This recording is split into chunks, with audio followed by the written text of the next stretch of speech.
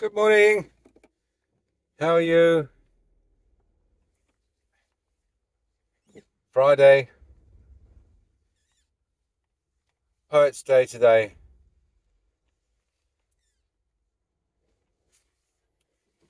I'm not going to go and have a look at the uh, the lake down Nash Road because, as you expect, it's you know as you can see from the amount of rain around, it's still pretty wet here.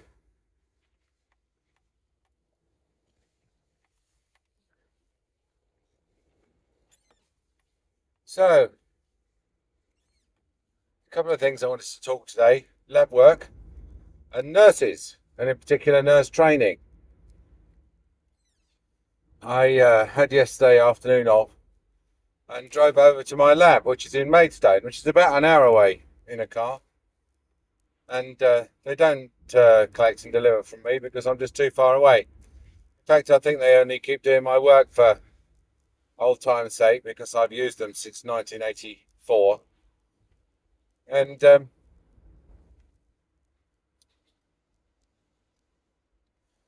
we've got a postal strike on at the moment. We had a guy who wanted a couple of, let's say, veneers, and uh, we posted them to them. Should have got them Monday before last, but due to the postal strike, they didn't get them till last Thursday, and then they've only literally cast them up and, and scanned them today or yesterday, and uh, or they well it's Friday. They scanned them Wednesday, and then they said that there's going to be another delay because they that scan has to go off and they get them made somewhere else, etc., etc. And so this uh, guy who's you know once his veneers done, he's going to have to wait three four weeks, and that's an unacceptable delay in my opinion. In fact, the whole reason why I drove over the lab was to drop some lab work off, which we knew would have an unacceptable delay if we posted it.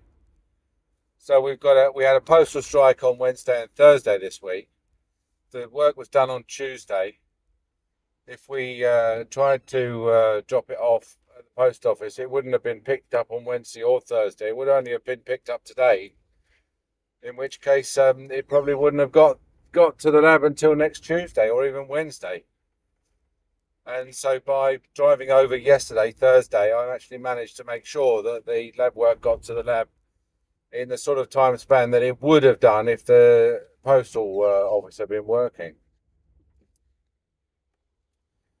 So, I mean, I know it's a bit strange for a dentist to uh, uh, spend two hours in the car driving one lab piece of lab work over to the lab but uh, it very much fits in with our philosophy of uh, patients are private patients and they're paying for a private service. And by private service, I mean proper private service. I don't mean NHS private or independent private. I mean, you know, really best efforts private. Uh, so I spent an afternoon, I could have spent, I suppose, watching Bel- Belgium get kicked out of the World Cup. Um, uh, uh, going, fighting through the traffic to get in and out of Maidstone.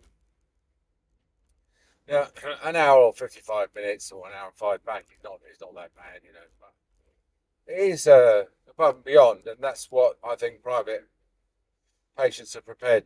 You know, I think they, they're entitled to expect above and beyond because we charge them prices which are above and beyond. But it is thinking, uh, it's making me think seriously about getting a scanner because if we'd scanned these preps and we'd scanned the opposing bite and everything and and emailed it across to them, then they would obviously they'd get it the same day, and the postal strikes would suddenly become irrelevant, wouldn't they?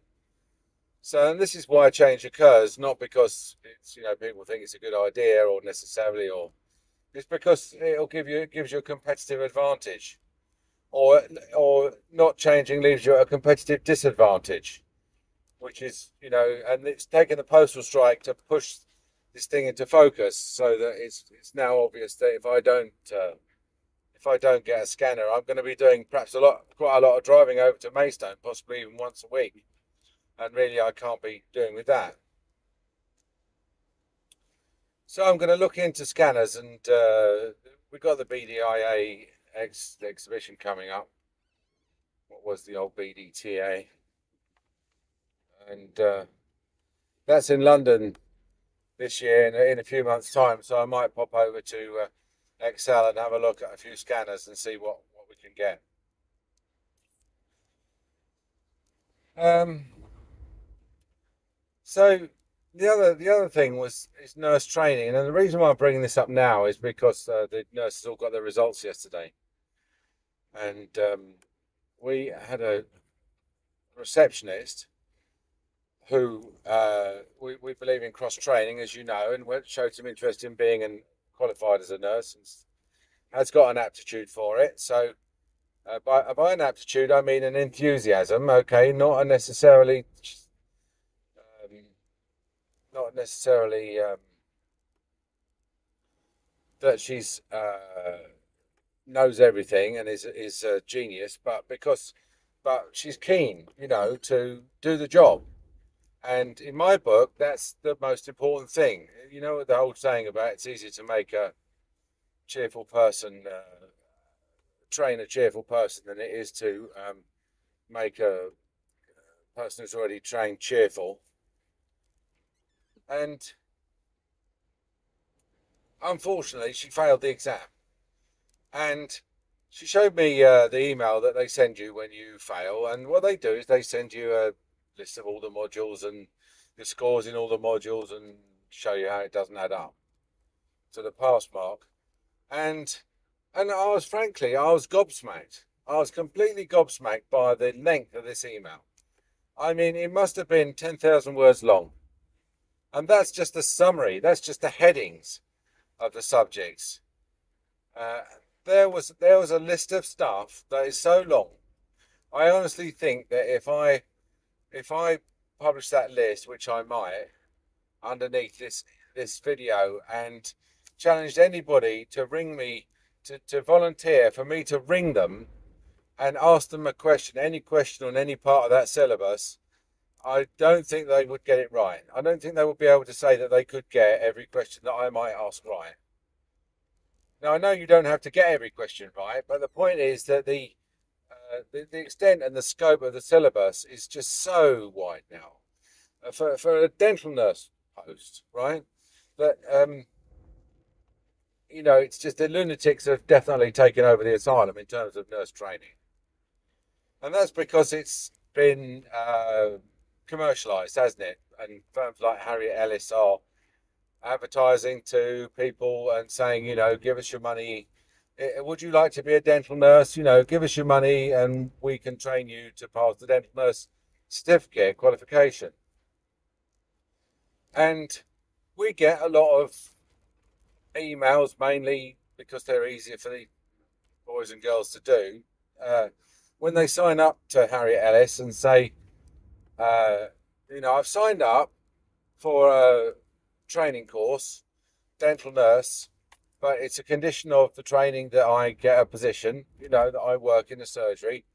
Because Harriet Ellis don't train you the practical side. Oh no, they leave that up to me, the dentist, to do that. They just train you on the colour of mops and the colour of fire extinguishers and stuff like that, and uh, the safeguarding legislation, etc. And uh, and we have to routinely write back to these people who've already probably parted with their money and and say no, uh, you know, we don't have a position for a trainee nurse. Sorry about that. And uh, I'm not at all sure that they are informed at the uh, when at the point at which they sign up. Not only that it's um, that, that I'm sure they are informed that they do need to get a placement, but I'm not entirely sure they're they're given the full position on how difficult to get a placement it might be. So, you know, and it's the same. So, so, so that I think the training associations have got a lot to uh, be held responsible for, because not only in uh, misrepresenting to a certain extent the uh, the position to the trainees, because let's face it, they have to get a certain volume of trainees going through, don't they? They make their money out of signing people up, training them and they are joining a long and not so proud tradition of uh, training organisations that um, churn out various uh, professions and jobs, irrespective of whether or not the need uh, is there for them, uh, which I would put universities at the top. but also uh, schools that advertise for uh, driving instructors. Get your driving instructor qualification. You know, can you drive? Then you could be a driving instructor, sort of thing approach. And uh, phlebotomists, you know, would you like to get a job as a draining blood out of people? You can we can train you as a phlebotomist or uh, injecting uh, uh, Botox and uh, fillers and stuff like that. You know. Now I understand it's to the candidates. You know, you have to do your own due diligence on these courses and make your own assessment of how likely you are to get a job at the end of it. But then also, you know, that when someone like that goes through the course and they don't fail, and they do fail, they do fail, then um, you know you have to look at the training association, the training organisation, and say, is that a failure of the training organisation? Was that person quite obviously never going to pass, and and as a result, um, you know, uh, has tried to reach too far, or uh, were they um, adequately trained? And again, with a lot of the organisations, and what we're going to do is have a look and see how um, how well the class did. You know, how well the training organisation did in terms of pass rates, because uh, you know, if you've got like uh, I don't know, twenty passed and only one failed, then it's one situation, is it? But if it's it's uh, uh seven or eight failed and only ten passed, then I think that's a different that paints a different picture, doesn't it, of the training organisation? And I think they know that, uh, you know. So I dare say they do try hard to get people through, but they don't try as hard as they do to get the money, which is basically what it's all about. They're not in the business of um, producing dental nurses because they think that's a, a, social uh, good. They're in the business of um, taking money for training people um, you know, and then you go into the wider debate about higher education and to what extent do they commoditize education and just take money for training people uh, and provide very little value in return? And I think when you look at the amount of training that's provided, you know, the amount of uh, uh how many lessons a week, how much contact there is a week, um, I think from my experience of my most recent experience, it appears to me that it consists of uh, giving the uh, trainee a copy of uh, Levison's and expecting them to sit down and just read it for a year. And that's, you know, that's quite frankly, that is a very, it's a piss poor way to um, expect someone to pass an exam, isn't it? And everything else is done online. Even the exam is done online.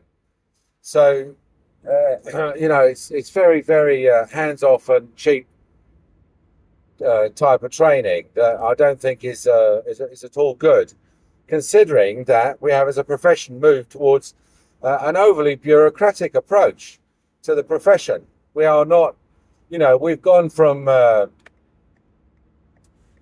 an autocrat an autocratic approach where the dentist would decided everything to um, uh, a, a, bureaucratic approach where everything is done by the book. And uh, one symptom of that is the Care Quality Commission, for example, which again doesn't uh, pay any attention to the clinical standard, the clinical quality of the work, and is is arguably ineffective because of the D'Mello scandal, where they uh, signed somebody off who, who was, you know, later they then had to recall over twenty thousand of his patients because he wasn't sterilizing things properly. And then, um, you know, they've saddled the entire profession with this bureaucratic authority and, and the requirement to keep bureaucratic records to an extraordinary degree, you know, even to the degree where, uh, you know, if you, you've got a um, ultrasonic bath, uh, to, uh, to ultrasonic your instruments before you, or after you've washed them, but before you sterilize them. Um, you, you know, there are five tests you have to carry out every day just on your ultrasonic bath to make sure it's working, including what they call a visual inspection test, which what I, what I used to call just looking at things, you know, to making sure that everything looked okay, nothing looked amiss.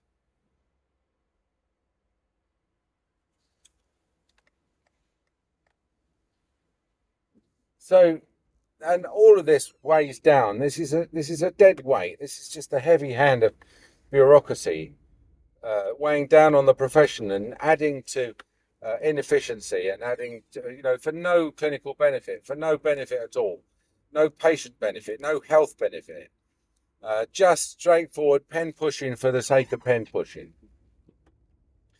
And despite all of their uh, protestations to the contrary, and the fact that they, are, you know, oh, the mea culpa, we've seen the light, we are going to reorganise things, we're having a consultation on how we are doing things so differently, which is just a massive, great bloody PR exercise by the CQC, trying to tell people, oh, we're not the massive dead hand weight of bureaucracy that everybody thinks we are. Um, there, there are still there's no, no sign of them letting up on anything, like uh, the small businesses like we are. And you can tell that. I mean, I've seen this. This is uh, the reason why I'm so angry is that I've seen this happen over my practicing career. When I uh, started practicing, Levison's was a tiny book. I mean, basically, the DSA uh, didn't need to be registered with the General Dental Council. You could take a girl from school who possibly wasn't academically all that bright, but was very enthusiastic and did want a sort of a career. Dental nursing is a good your career because you can relocate with your husband to another part of the country. You can get a job as a dental nurse quite easily if you're a good dental nurse anywhere. Uh, the skills are transferable. You know, everybody, all the dental nurses pretty much work the same way. Uh, you could get now. You can get things like X-ray certification and and uh, you know experience in implantology and stuff like that. But except to the extent that they're just an attempt to dilute the the, the dental uh, surgeon's grip on the profession. You could, if you know, once your nurse had had her hepatitis B jabs and she'd learned how to mix uh, zinc polycarboxylate and zinc phosphate, and uh, how to sterilize things without, uh, you know, properly, then she was a useful nurse. And she was a useful nurse. And uh, then along along came along came Pam Swain and the British Association of Dental Nurses, and just threw the most giant monkey wrench into the gearbox of dental, of dental practice by insisting, stamping their feet and insisting that they be afforded some sort of equal representation at the GDC alongside dentists and having a much larger number of members, you know, obviously, although they pay much less, still being a significant part of the GDC's income.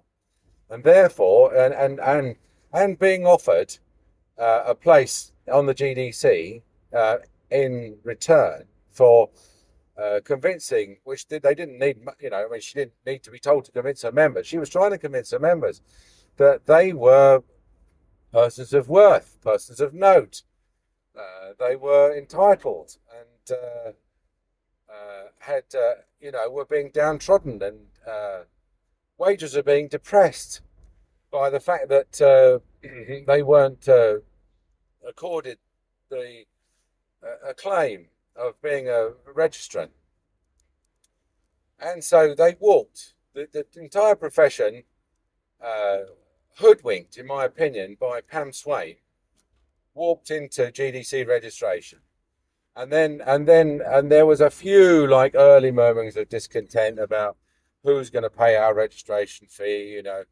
And then, and then along came uh, Lockton, and uh, Lockton Insurers, uh, working with Pam Swain, try, managed to convince all the dental nurse that they needed uh, vicarious liability insurance, and that they were going to get named as uh, on any negligence claims and that they needed to have legal advice and that they needed to have legal cover. And um, to the extent that Lockton had to almost uh, uh, manufacture some some sort of claims against nurses to justify this claim, even though nurses, nobody who sued a dentist had the slightest slightest idea of the, of suing the nurse alongside. You know, in the same way as now, if you, uh, you know, the Rattan case, you've got a situation where someone's uh, should have sued the associate, and the associate was quite happy to be sued and had medical cover, but then they but they decided to sue the practice owner just because they were just I don't know why. Do you know what I mean? They don't know why. So now we've got a situation where nurses are, you know, okay, you know, they pulled up the drawbridge. Okay, fair enough. That's you know good for them. Uh, but now uh, a lot of um, we, we lost a perfectly good nurse because although she's um, a good nurse and was grandfathered in to the profession, um, took a break, and then um, found she couldn't get back into the profession just because she didn't have the qualification, and uh, her her uh, registration had lapsed. And and now we've got another situation where we've got a very good nurse, and I had to take her aside yesterday and say to her, "Look, the fact you failed your exam does not mean you're good, not a good nurse. You are a good nurse. You know the problem is with the system. The system has failed you. The the uh, the training organisation has let you down. The bureaucracy, with which we all daily struggle, has let you down. This ridiculous um, emphasis on including everything in the syllabus because that, you know, to commoditize the training, uh, to, to justify the fees that people are charging uh, off of what I think are fairly vulnerable young women for the most part. Um, I think that that's that's let you down, and perhaps we let her down as well because we just sat there and watched her reading this uh, bloody Levison's day after day. I have never seen. I, I can honestly say, in even when I was at dental school, I have never seen anyone work harder at getting through an exam than this girl, and yet she's failed. And I'm furious about it. I am quite angry about it because uh, she's an excellent nurse. She really is. She is.